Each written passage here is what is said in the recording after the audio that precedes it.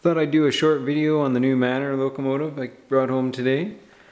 Uh, it's part of the Charles Collett class of 7800 Manors. Uh, Collett used redundant 4300 class moguls in 1936 to create the Manor class.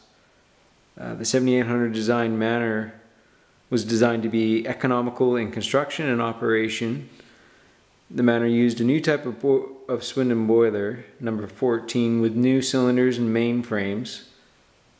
Driving wheels and motion came from the scrap 4300 class. At that time period, the Manor cost 4,940 pounds to produce because of using recycled components.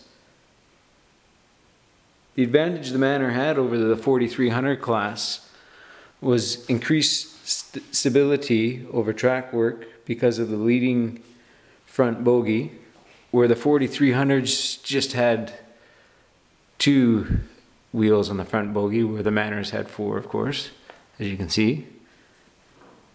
Uh, one thing that played the, the Manor class was they were known for being poor steamers.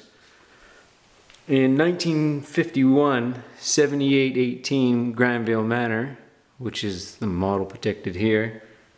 Uh, went to Swindon's test team, and under Sam Ell, it was found that only minor changes were needed to change the Manor's performance significantly, which were a smaller blast pipe tip, longer narrow chimney with a reduced choke and increase in the airspace in the fire grate, these changes transform the Manor's steaming output by 120%. All 30 Manors were modified after the trials, and footplate crews gave raving reviews after the changes.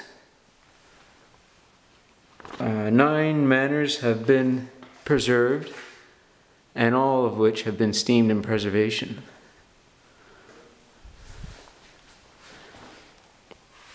So there you have it, five inch gauge Manor.